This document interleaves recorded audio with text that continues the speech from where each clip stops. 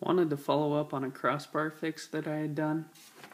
Uh, with the AR drone, I had taken basically the crossbar breaks in half after you have enough falls.